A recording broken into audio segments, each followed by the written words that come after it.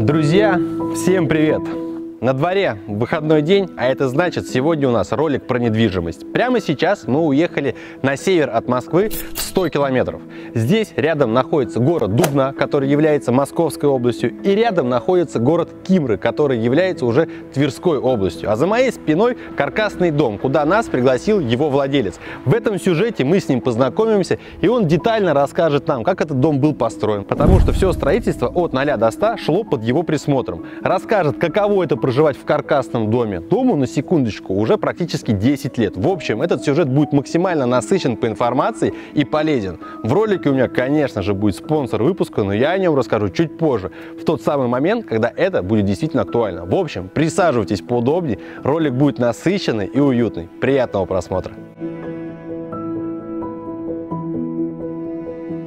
Знакомьтесь, Никита. Никит, огромное тебе спасибо, что пригласил в гости. У тебя, знаешь, вот по первым ощущениям действительно очень уютно. Все чистенько, аккуратненько. Зашли к тебе в гараж, до которого мы дойдем. Друзья, в общем, ролик будет действительно насыщенный.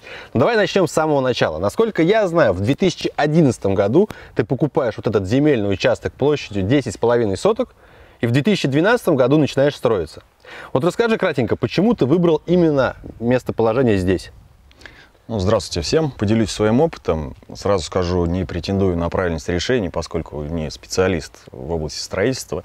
Вот. Но думаю, может, кому-то будет полезно, не сделают каких-то ошибок. Когда начал выбирать землю, ну, поездил по окрестностям, как обычный человек, то есть некоторые участки как бы устраивали, но обратился к знакомому, который чуть разбирался в этой проблеме.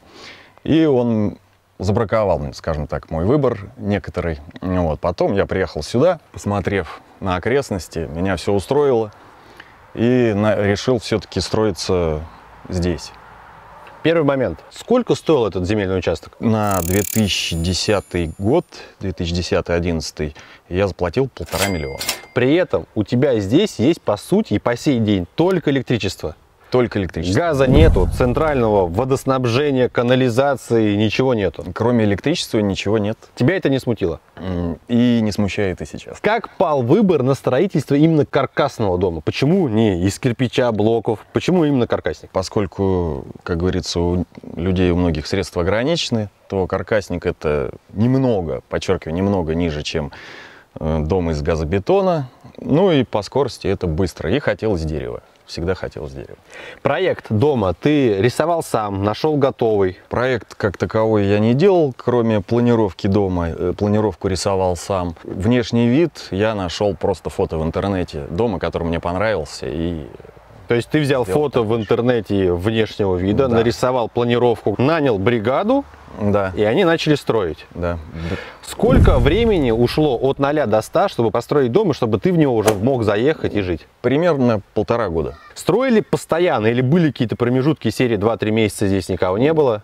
Постоянно строили, как бы больших промежутков не было. Никит, важный вопрос. Вот на момент, подчеркиваю, 2012-получается 2013 с половиной. Сколько денег в круг ты отдал за дом? Вот смотри, считаем так, что построился дом, утепление, вот это все сделано, а, и самое необходимое для жизни. Вот сколько ушло денег? Примерно 3,5 миллиона, это уже с мебелью. То есть я подсчет скрупулезный не вел, чтобы не расстраиваться сильно. Вот. Соответственно, ну, три с половиной это вот все, что там есть внутри, примерно так.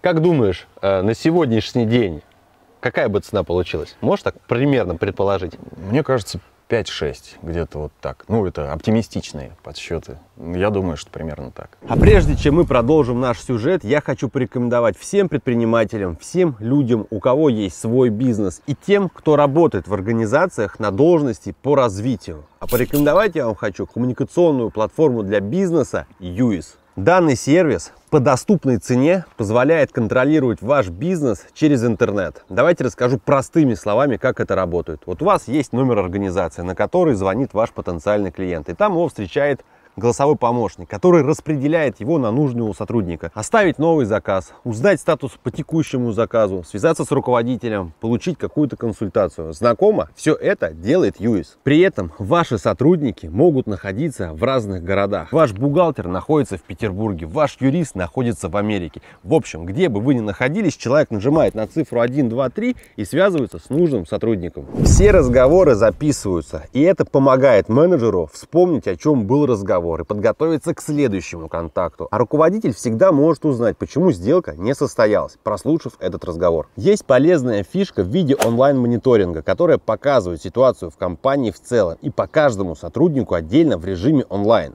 Это помогает прозрачно, быстро и качественно оптимизировать работу бизнеса. И это только малая часть возможностей UIS. По сути, вы просто меняете оператора связи, но при этом получаете огромный функционал. Многие переживают за свой номер, но я бы не хотел от него отказываться. Так и не нужно. Эту услугу можно подключить на ваш номер. Но если хотите, вы можете приобрести новый номер, включая региональный или федеральный. Все подробности будут по ссылочке в описании, потому что есть красивые номера, которые легко запоминаются. Таким образом, у вас будет один единый номер, на котором у вас может работать неограниченное количество сотрудников со всего мира. И вы всех их сможете легко контролировать. Когда-то такие услуги стоили огромных денег. Но сегодня облачные технологии делают данные функции доступными даже самому малому бизнесу. Вы просто посмотрите на эти цены. И не зря у Юис самая высокая оценка на Яндексе в сегменте. Убедитесь в этом сами, переходите по ссылочке в описании, получите первый месяц использования в подарок. Поверьте, после первого месяца вы автоматом становитесь постоянным клиентом Юис. Пользуйтесь на здоровье. Никит, вот полтора года устроился дом, а сколько человека устроило? Два человека. То есть помимо того, что приезжала в определенные моменты техника, копала, или они вручную рыли под фундамент? Они вручную все делают. То есть этот дом построил два человека? Да. Расскажи, пожалуйста, как он построен, что у нас идет по фундаменту, что у нас за дерево, какой у нас утеплитель? Ну, тут почвы песчаные, то есть тут нет ни грунтовых вод сильных никаких, ничего. Вот, соответственно, фундамент ленточный, неглубокого залегания. Вот, пирог стены, если считать изнутри дома наружу, то, соответственно, вагонка, обрешетка, э, потом, соответственно, обрезная доска, потом э, пароизоляция, потом 200, если в стене, утепление, Угу.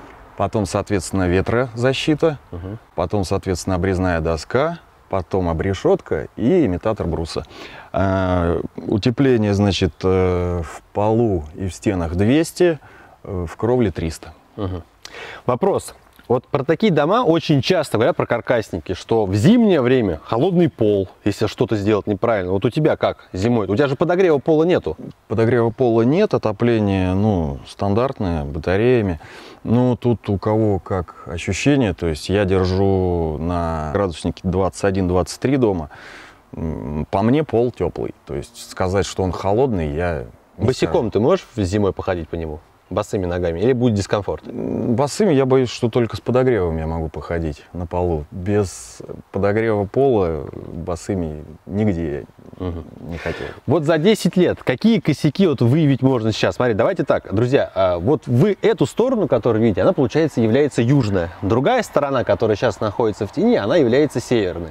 И вот косяки по дому, да, по дереву, то, что тут пошарканье, это вот за 10 лет произошло. То есть ты ни разу за все это время два раза дом не красил. Нет, ни разу не так, как его покрасили при постройке, так и есть. Вот, соответственно, ну, это выделение смолы тут, как говорится... Трещины в дереве ты находил, еще что-то, какие-то места, куда что-то поддувание начинает происходить, что-то забивается, птицы начинают видеть гнезда, вот таких домах Нет, бывает. нормально построенный каркасник, когда, то, соответственно, никаких там поддуваний, ничего не будет. Кровля вся подбита так, что птицы туда не проникают, вот поэтому тут Окна у тебя всегда нормально открывались? Не было такого, то что хоть перекос пошел по дому, дверь нужно было подрегулировать, потому что она задевает? Окна всегда открывались нормально, но проблема в России с окнами существует такая, что ну, много некачественных окон. Ну, мне повезло чуть больше, то есть у меня особых огрех по окнам нету, но если вот кто-то, допустим, как говорится, увлекается строительством там, то все, то можно сделать рамы, у которых будет между стеклами зазор там около 7-8 э, сантиметров, финский вариант. И тогда у вас ни конденсата, ничего никогда не будет при всех морозах. Поэтому А у тебя есть конденсат? Бывал? Иногда бывает, да. Иногда в сильные морозы бывает, да. А вот э, в силу того, что конденсат, как правило, влага дополнительная, это, соответственно, возможность пойти плесени.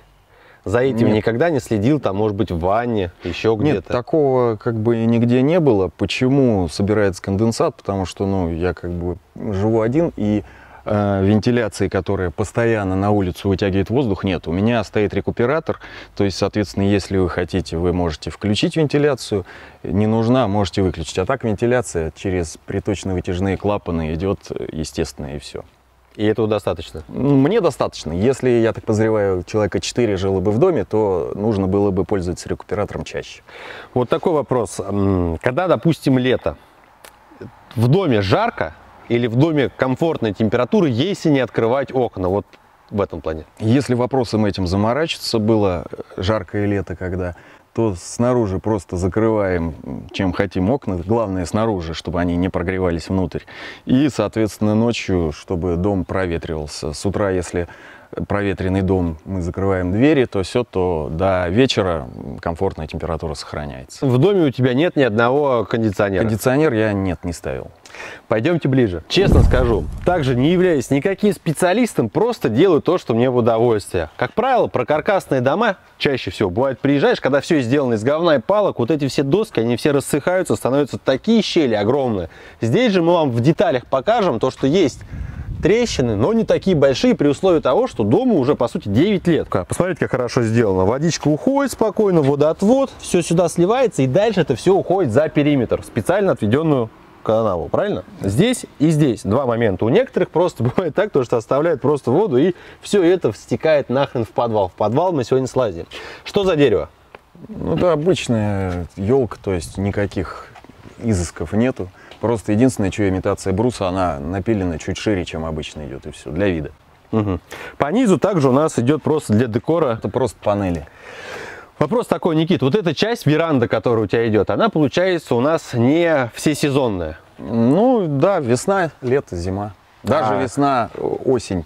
Не, не зима, а весна-осень. Ну, желания не было вот сейчас, например, доделать, там, доутеплить, сделать так, чтобы можно было зимой находиться или не ну, как пользуешься? я ей пользуюсь, мне хватает, меня устраивает. То есть не скажу, что есть какое-то желание что-то там делать. Люди писали в комментариях, когда мы сделали публикацию в инстаграме канала по дорожке, что у тебя дорожка сделана извилисто. Для чего так сделано? Почему не пустил прямую? Да, я читал там, как можно в трезвом виде ходить по такой дорожке. да, но все я верно. Скажу, что вот с момента, как я заселился в дом, вот 9 лет живу практически, я в пьяном виде по ней ни разу не ходил, соответственно, как-то все-таки можно. Поэтому вопрос вот тут чистый дизайн. Касательно забора, есть эстеты уже европейского уровня, которые считают то, что глухие заборы ставить некрасиво. Нужно ставить заборы такие, чтобы с улицы тебя могли видеть, соседи могли просматриваться, чтобы все было в открытое. Твое мнение по этому поводу? Читал этот тоже комментарий, почему кругом заборы из профлиста. Вот. Ну, соответственно, тот человек, который написал, будет, когда себе строить, может поставить низкий забор, может вообще не ставить. А когда он захочет позагорать у себя на участке, либо, ну, походить там как-то в трусах, например, да, он тогда уже будет профлист к чему-то прибивать, к своему низкому забору или к сетке прикреплять, ну, то есть на его усмотрение. Пойдем к тебе в дом. Дом у тебя получается 100 квадратов и двухэтажный. Желая 100 квадратов, да, Мы сможем посмотреть, как там сделана планировка? без проблем. Друзья, Никита приглашает нас в гости. Пойдемте. Мы заходим с вами на веранду. Можно назвать предбанник, кому как больше нравится. Размер следующий. 3 на 8. 24 квадратных метра. Смотрите, сделано в принципе все уютно. Подчеркиваю, что этому всему уже более 9 лет. Вы можете делать выводы, как построено. Друзья, прекрасно вас понимаю, что по картинке можно снять так, что все в идеале. Но я знаю, что среди вас есть такие специалисты, которые даже через картинку смогут найти какие-то косяки, дать полезные советы. Напишите обязательно в комментарии. Здесь, в общем, пространство достаточное. В летнее время присесть, чайку, рыбки, картишки с друзьями, там что угодно.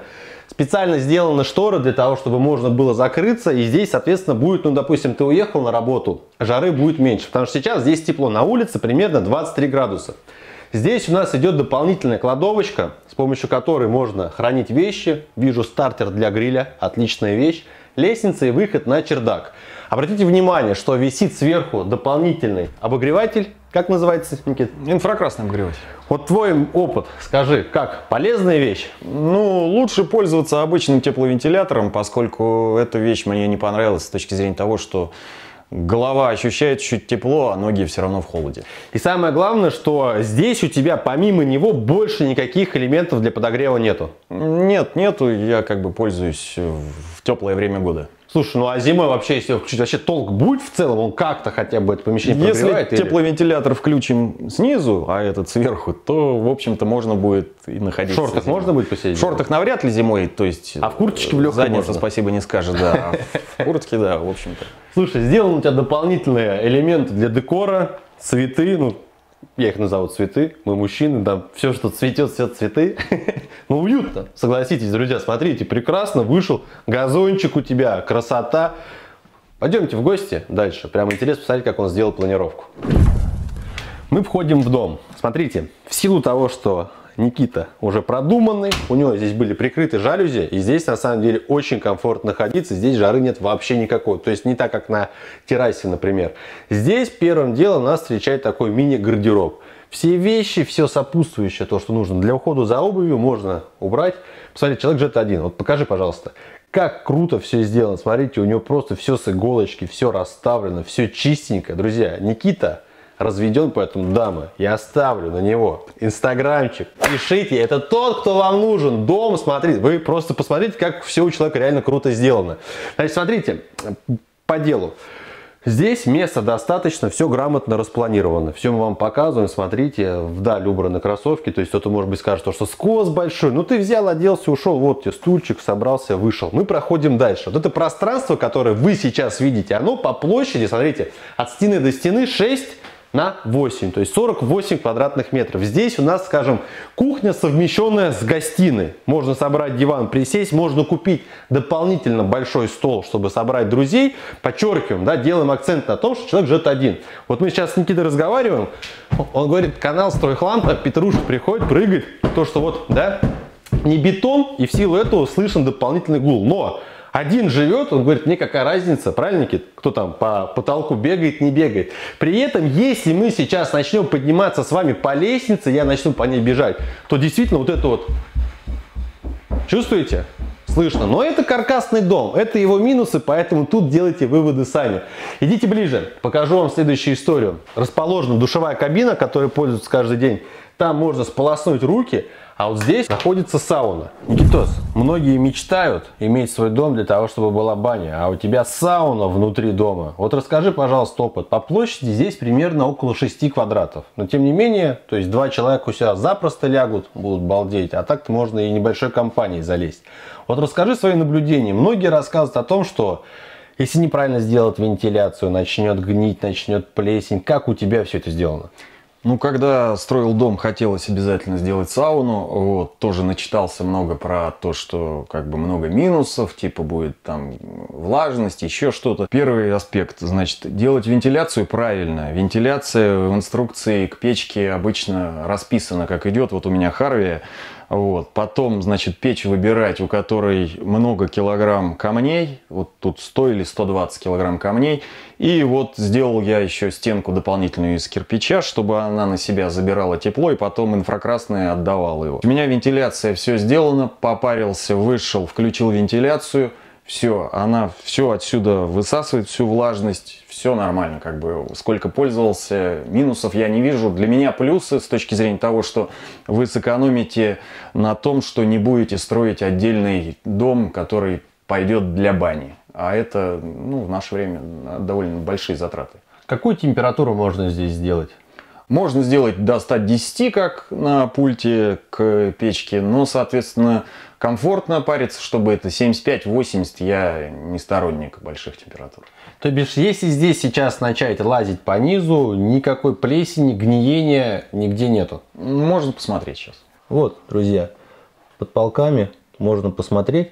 В общем, если бы что-то здесь было бы, то, соответственно, это уже давным-давно бы все проявилось, а так, ну, друзья, 8 лет, даже 9 по факту. И все чистенько, аккуратненько. И вот эта сауна была построена при строительстве дома. То есть это не вчера там как-то была да. интегрирована, а сразу. Да, с самого начала сразу все построено. Просто я к тому, что здесь действительно, по крайней мере, ты заходишь, э, все чисто, и приятный запах до сих пор стоит от дерева. Обычно бывает со временем это уходит, но здесь прям действительно круто. Ну, если убирать в сауне, соответственно, будет все нормально. Если вентилировать, то проблем не будет. Чувствуете, да? Вот опять же, у меня есть тепловизор, но сегодня на улице 23 градуса и, соответственно, не совсем корректно с ним будет работать. По-хорошему, если бы сейчас было бы минус 20, вот было бы неплохо что сделать включить его и походить по углам, посмотреть, где что уходит. Потому что здесь у нас, например, есть окно, оно глухое. Понятное дело, что 100% по периметру будет идти холод. И вот было бы круто в зимнее время прийти в подобный дом и вот полазить посмотреть. Потому что я уверен, что, ну, конечно, откровенно говоря, если ходить босиком по дереву зимой, да вы что, это как бы надо шерстяные носочки. Опять же, как посмотреть? С одной стороны, вроде бы минусы, с другой стороны, в шерстяных носочках, уютно, дома. Но сделано на самом деле, вот с точки зрения, что все убрано, что все расставлено на своих местах, очень круто. Вот даже тот же самый зеркало, да? То же самое зеркало для полотенцев. Ну реально, посмотрите. Я думаю, вам этот дом точно понравится. Знаешь, Никит, в стилях я особо не разбираюсь. Может быть, от этого оно и интереснее, и легче людям смотрится. Поэтому я могу сказать, что дом у тебя построен в стиле скандинавском. Или же какой-то домик охотника. Просто когда заходишь тебе домой, у тебя прям рабочий стол, своя атмосфера, на кухню смотришь, по-другому немножко сделано. Вот расскажи в целом, что у тебя сделано по дому. То есть ты подъезжаешь к дому, у тебя автоматически открываются ворота.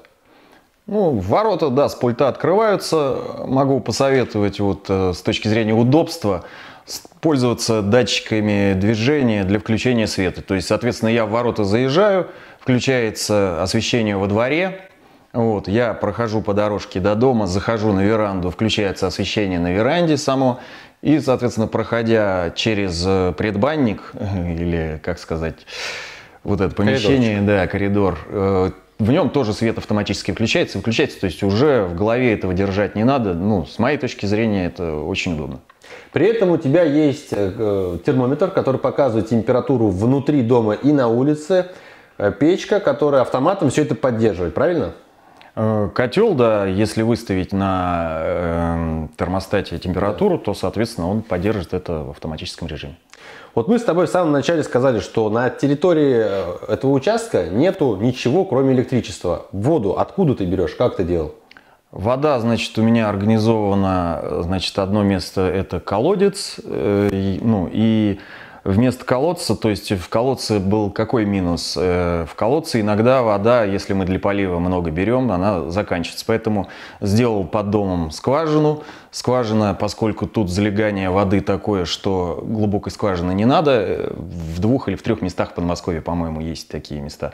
Вот, то есть всего лишь 5,5 метров, и из скважины вы берете воды столько, сколько хотите. А вода какого качества? То есть ты а, очистные сооружения ставил какие? Продвинутые? Средние? Для воды, кроме фильтров механических, ничего не стоит. Э, сосед ради интереса отдавал воду на экспертизу, то есть питьевая вода. То есть можно сейчас налить из-под крана и воду пить? Да, я именно так и пью. Угу. У меня есть фильтра, но пью я из-под крана. А расскажи еще интересный момент, с которым ты столкнулся. Вот все мы люди простые, все мы с чего-то начинаем, на чем-то учимся. Когда ты купил участок, он у тебя был под наклоном.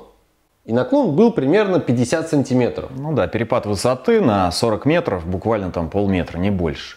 Вот, соответственно, ну, чтобы его чуть-чуть выровнять, я думал, что сколько там уйдет КАМАЗов, там, ну, 10 максимум.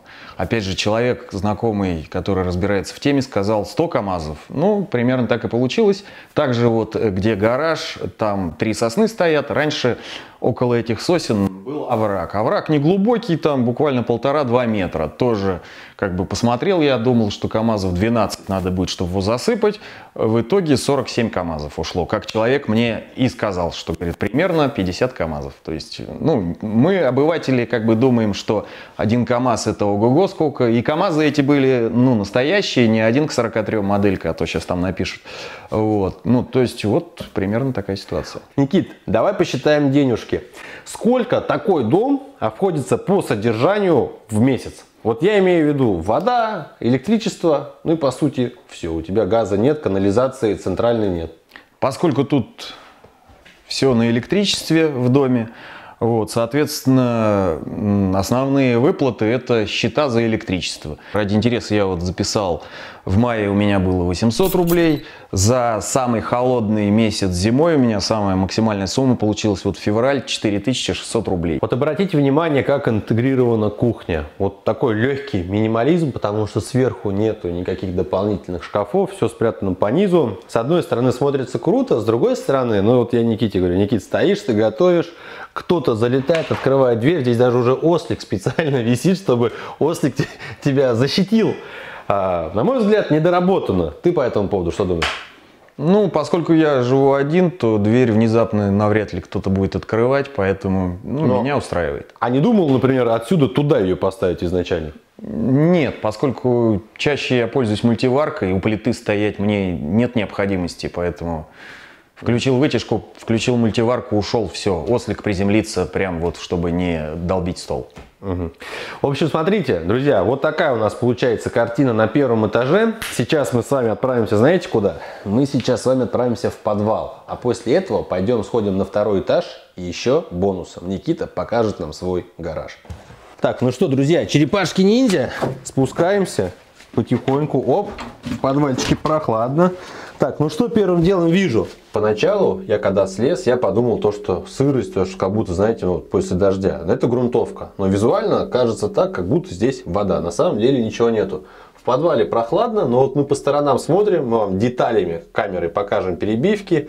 Нигде вроде как никакой сырости, потеков, ничего нету. Все сухо, все аккуратно сделано. Здесь у нас что? Здесь насосные станции. Ну вот рекомендую, кто живет в своем доме, такие вещи, как насосные станции, бойлер для воды, ну, жизнеобеспечение по возможности дублировать. Вот я две насосные станции сделал, что если что, можно переключиться на другую и, в общем, не испытывать дискомфорта с водой. Угу. Ну слушай, у тебя здесь так все продумано, грамотно сделано, то что ты спускаешься, у тебя здесь дополнительно баночка-то одна стоит с помидорками. Здесь какой-то тут сопутствующий нужный мусор лежит, правильно? Ну да, фильтра. И вот в зимнее время, то есть никогда у тебя там осенью, весной здесь вода ниоткуда никогда не бралась. Сухо всегда, то есть не зиму, ну то есть продухи открыты летом, соответственно ага. на зиму они закрываются, через них как бы вентиляция идет вся проводка на видном месте, все, естественно, где-то это подписано, то есть каждый кабель за что отвечает, ты все это прекрасно знаешь. Ну да, при проводке все эта схема у меня есть. Но важно понимать, друзья, что дом строился при нем, он все это прекрасно знает. Вот так вот купишь дом иной раз, и что красный означает, а что черный. То есть, понятное дело, что должен быть счетчик, где это все подписано, но Фишка в том, то, что когда это все было сделано при тебе, конечно, лучше чувствуешь себя хозяином дома. То есть ты пришел, так, это у меня там, это у меня там. Ну, круто же. Ну вот, соответственно, задавали вопрос по поводу полы, гниют, не гниют. Снизу сухие они, вы видели. Тут, соответственно, тоже все, ну, все сухо. То есть, ну, какие могут быть с ними проблемы, если подвал продувается, пленки все проложены правильно по технологии, я думаю, что проблема. Ну, а это потому, что у тебя сделано все хорошо. Мы ездили, смотрели дома, под которыми вода. Вот любое дело, если... Вода там под, под домом. Да, любое дело, если сделать через жопу, то оно выйдет плохо. Соответственно... Вот это важное правило. Основной принцип, да. мы, мы, как так сказать, и запишем. Идем дальше. Здесь у нас дополнительный предбанник перед вторым этажом. Здесь второй щиток у тебя идет. Вот это что такое электролюкс? Это вот э, говорил я про рекуператор, то есть, соответственно, система вентиляции приточно-вытяжная, которая имеет теплообменник, установлен короб такой под потолком в туалете, и короба вентиляции, расположенные в стенах, идут, соответственно, на комнату первого этажа, приточка и вытяжка, и на втором этаже также есть приточка и вытяжка. То есть, соответственно, мы ее когда включаем, начинается вентиляция в доме. И эта вентиляция, она, соответственно, у нас тепло не наружу дома выгоняет, а сберегает тепло. Ну, в последнее время мнения как бы разнятся, есть смысл, нету. Ну, я считаю, что, ну, как бы себя она окупит, если там человек пользуется ей часто, то себя она окупит. Вот такой у нас туалет. У нас здесь идет бойлер, котел, стиральная машинка. То есть все сделано, смотрите, вот пространство в целом не сжирается. Реально, здесь такое ощущение, как будто чего-то еще не хватает, что вот нужно еще что-то поставить. Так, например, там вещи куда грязные скидывать. Но это уже, знаете, отдельно. Это, как говорится, каждый из вас сам что-то придумает, что можно было картину повесить, карту, книжечку положить, чтобы можно было почитать, изучить. В общем, сделано все грамотно. А как вы считаете, напишите ваше мнение в комментарии.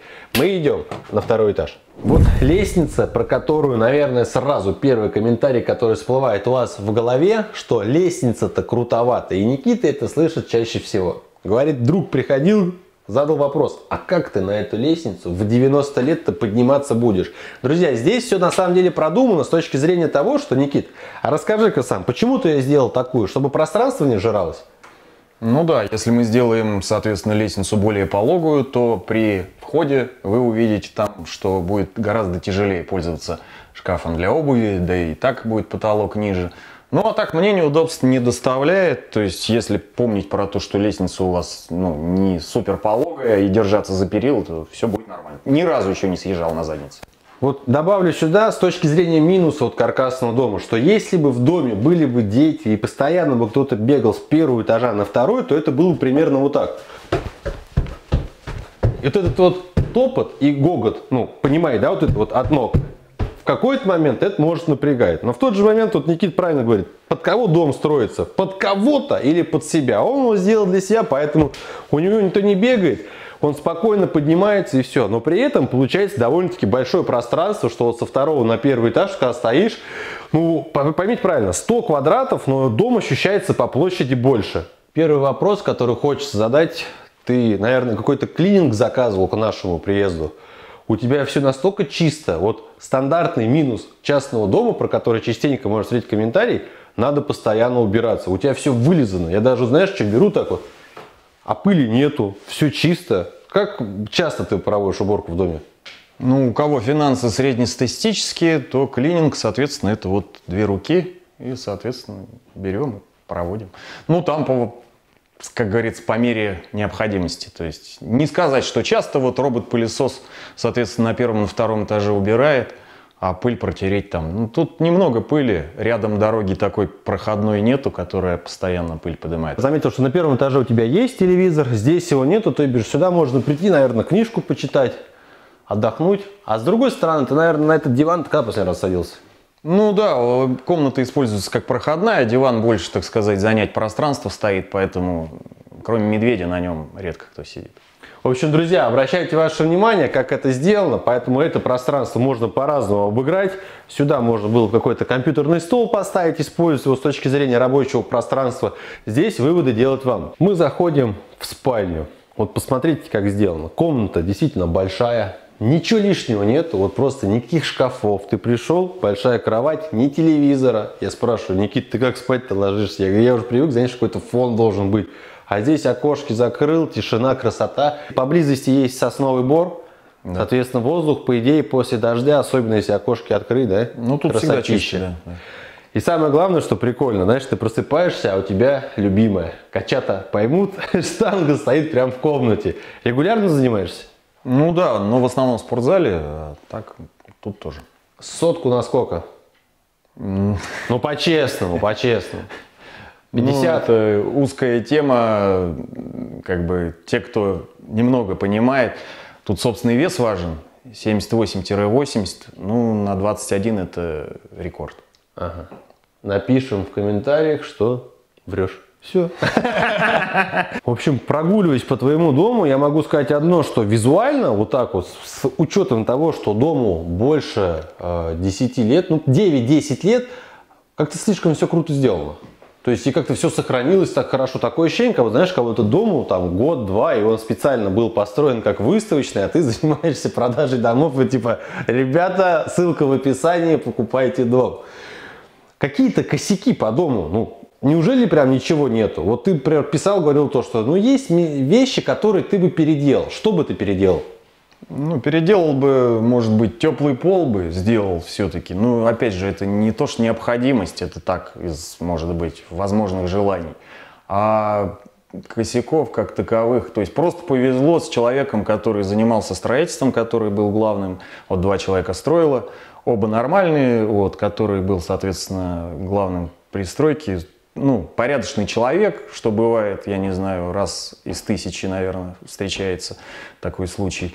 Но, как бы, вот огрех как таковых я за все время ну, не могу. Дом не продаю. А по коммуникации? Вот было такое, что что-то ломалось. Вот многие боятся своего дома, потому что, а вдруг что? Вот что у тебя за это время случалось, то, что ты можешь вспомнить? За это время один раз меняли тен в бойлере, который в туалете установлен. Соответственно, ну, это одна поломка. И вторая поломка, бойлер, который установлен для кухни, там на 10 литров он тоже, бойлер накрывался и пришлось покупать другой. Все, больше как бы... Ты еще рассказывал о том, что когда была вот зима как-то, был ледяной дождь, у вас же здесь все на электричестве, и у вас там три дня вот здесь не было электричества. Как дом функционировал без него? Ну, обогреватель, который газовый, соответственно, в магазинах продаются такие керамические обогреватели с газовым баллоном. Его ставишь, он 4,5 киловатта выдает, и, в общем-то, проблем нету. То есть за три дня я им пользовался буквально там несколько раз. Вот, и, ну, единственное, что при пользовании такими обогревателями надо организовать вентиляцию в доме. И все, для безопасности. Вот здесь у тебя получается зона барбекю. Не было желания поставить какую-нибудь верандочку, беседочку? Ну, я пользуюсь не очень активно, поэтому, ну, так-то мысли были, но пока воплотить их пока не воплотил. То Самый... пока хватает. Самый интересный момент здесь это вот эти два люка. Это получается у тебя канализация, которая у тебя от дома выходит вот сюда, правильно? Да. Как она сделана? Бетонные кольца три с переливом в два. Угу. Вот этот септик, так называемый, как часто его нужно откачивать? Ну, я пока ни разу не откачивал, проблем пока никаких За все в 9 лет дома? За все время эксплуатации. Но учитывая, что живу один, у знакомых э, живет три человека, тоже за пять лет, когда я вот узнавал по этому поводу, ни разу не откачивали. То есть... И запаха постороннего никогда отсюда не бывает? Нету. Я думаю, что это еще зависит от э, почвы. То есть тут почва песчаная и, соответственно, грунтовых вод особо нету. Соответственно, если у кого-то грунтовая вода стоит на штык лопаты, если копнешь, то такой вариант исключен. Я думаю так. Мы перемещаемся с вами к гаражу. Обратите внимание, размер гаража 6 на 8, отдельно подъемные ворота, в которые можно заехать. Здесь сделана площадочка из бетона. Когда делал? Два года назад примерно. Вот твои наблюдения по поводу бетона, ты сам на это сделал акцент, то, что он уже потихоньку начинает разваливаться. Как надо было делать, чтобы не разваливался? Да, вот э, отсмотрел видео, значит, насколько я понял, когда заказываете бетон, надо обговаривать, что будете заказывать для тестов кубики и пирамидки, короче, которые потом пойдут на тест бетона. И, соответственно, говорить, что под бетононасос это все делается. Тогда более ответственно производитель подходит к этому. Ну и, соответственно, сделать тесты и, если что, уже, как говорится, разбираться с ситуацией, чтобы такого не, не было ни у кого. Сколько денег вот обошлось все это удовольствие? Получается, раз у тебя площадка, фундамент под гараж, гараж у тебя, в принципе, тоже имеет второй этаж, гараж у тебя, подчеркиваю, неотапливаемый, он сделан из чего? Просто USB обшито без утепления, без ничего. То есть он просто сделан так, чтобы с возможностью дальше его утеплить и сделать внутри отделку. Но на данный момент он просто холодный гараж, обычный. 2019 год? Ну, примерно 18-19, да. Ценник? То есть вместе с откатными воротами под 900 тысяч примерно это вышло. Ну вот, немало. Пойдемте зайдем в гости, посмотрим, что тут у нас в гараже. Друзья, вот такая вот красота встречает нас здесь. Тоже все чистенько. Не хватает, конечно, полочек, чтобы тут это доделать. Но с другой стороны, все в процессе. Альмера, какого года? 2007 Друзья, приятно был удивлен, когда пришел, а мне Никита говорит, знаешь, а ласточка-то моя на газу, сколько у тебя средний расход получается по ней? 10-11, в зависимости от езды. Купил ты ее? Ну, года три назад. По цене? 350 тысяч. То есть, смотрите, 10-11 литров на газу, это примерно сегодня 26 рублей, да, газ? 26-70, Ну, да. 260 там, ну ладно, давайте в круг возьмем там по максимуму 300 рублей и минимально там ну, 250, если, не знаю, какая трасса будет. В дальнейшем планы какие-то есть по гаражу, что будешь делать? Ну, пока что никаких нет. То есть делал с возможностью дальнейшего утепления, пока что таких надобностей не ощущаю, поэтому пока что вот так. На мой взгляд, гараж сделан из серии 5 баллов с точки зрения даже хотя бы размеров. Вы знаете, мы, например, когда покупали дом, у нас тоже был гараж. Там что-то по ширине 3,30. Это такая картина, когда ты заехал и просто даже дверь полноценно открыть не можешь. А здесь ты приезжаешь, вот, открыл машину, у тебя все, можно спокойно выйти, разгрузиться, загрузиться, в этом плане без проблем. Здесь же в гараже, если надо, какие-то дополнительные морозильные камеры, но если дома не хотите что-то хранить, то я имею в виду, с точки зрения продуктов можно это, запастись так, то, что никуда не выходить отсюда вообще. А на втором этаже что-то есть? Ну, там для хранения организовано в основном площади. Ну да, очень большое пространство, то есть сделано с точки зрения удобства, мне кажется, оптимально. Никит, мы потихоньку с тобой приближаемся к завершению. Вот давай здесь подведем общие такие вопросы с точки зрения быта. Вот проживая здесь, в этой локации, тебя все устраивает с точки зрения инфраструктуры для тебя конкретно? Ну, почти все устраивает, да. Ну, Чего не хватает? Электричество, как говорится, ну, перебои с электричеством бывают, но с годами вроде получше становится, поэтому я думаю, что со временем будет как бы приближаться к 100% удовлетворения. Ответь сразу на популярные комментарии серии «Ты врун, все скрыл, э, не рассказал правду, что-то ты там условно, может быть, прорекламировал или я прорекламировал». По-честному, домом доволен? Домом доволен, все как сказал. Для тех, кто думает иначе, ну зачем переубеждать человека? Пусть думает иначе. Мыши писали люди в комментариях. Ты Мышей за мыши, все время мыши, я не видел. Живут. Если дом строится по технологии, соответственно, все продухи, все снизу, там, если у нас в винтовых сваях дом, если снизу закрывается все металлической сеткой, соответственно, мышь не может туда проскочить. Содержать и ухаживать дом. Газон стричь зимой, снег расчищать, как это, напряжно? Да, вот э, люди делятся всегда на тех, кто хочет иметь дом и кто хочет иметь квартиру. Вот для тех, кто хочет иметь квартиру, я скажу, что я вчера вот тут вот с газонокосилкой, допустим, бегал, там зимой я бегаю с лопатой, чтобы расчистить, поэтому нафиг этот дом. А кто хочет иметь дом, соответственно, я скажу, что, ну, в общем-то, участок красивый, природа, ну, приятно, поэтому два лагеря пусть будут двумя лагерями и все. Еще сюда можно добавить, что опять же здесь есть над чем трудиться, есть куда деньги вкладывать по-хорошему. Ну, в первую гараж надо доутеплить, да, довести до ума, скажем, поставить какую-то, возможно, беседку красивую, потом можно еще что-то сделать. У тебя здесь как бы пространства достаточно, и, соответственно, куда потратиться всегда есть. И вот так вот на одном дыхании пролетел этот сюжет. Друзья, показали все как есть. Человек мне не знаком, пригласил в гости, за что ему огромное спасибо. Очень приятно приезжать, посмотреть, как люди живут, как у кого сделана какая планировка, послушать независимый отзыв. Я знаю, что сюжеты с негативом заходят почему-то лучше. Людям нравится, когда у кого-то что-то не получилось. В общем, если вдруг вы где-то заказали себе дом, вам его построили и все не так, все неправильно, пишите, звоните, рад буду приехать, показать вашу жизнь. Но в любом случае, естественно, в частном доме что-то есть. Куча людей, которые скажут, да нафиг это надо, за этим следить, за тем, свой дом, это так все дорого строить. В общем, друзья, вот человек в 2011 году начал строительство, вы все цены услышали. Понятное дело, что сегодня с нынешними ценами все это будет стоить гораздо дороже. Вопрос, опять же, насколько дороже? Дом можно построить 200 квадратов, можно сделать 80.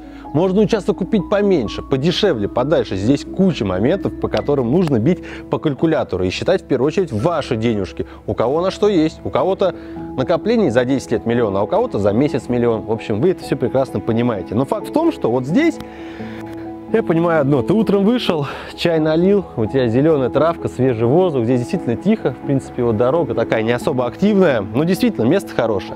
Подписывайтесь обязательно на канал, потому что дальше будет выходить больше роликов на разные темы. Я люблю снимать, я люблю монтировать, мне нравится, что вам нравится канал и те сюжеты, которые я делаю. Ваше мнение высказывайте в комментарии. Все контакты со мной, включая электронную почту, остаются также в описании. Есть идеи, пишите, буду ждать.